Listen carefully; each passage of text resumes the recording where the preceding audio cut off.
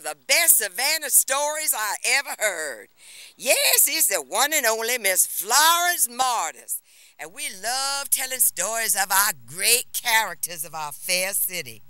Yes, sir, there's old Florence representing her waving to the ships as they go by down the Savannah River.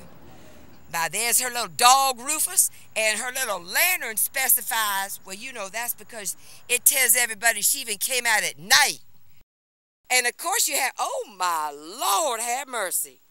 Why, Florence has got the biggest feet I've ever seen.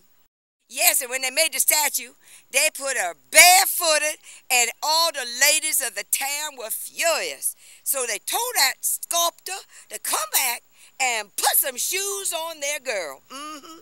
Now, Miss Florence Martus got big old feet, just like Tadayza's. That's just one of our silly stories. That's how we are here in Savannah, you know. PuppetPeople.com.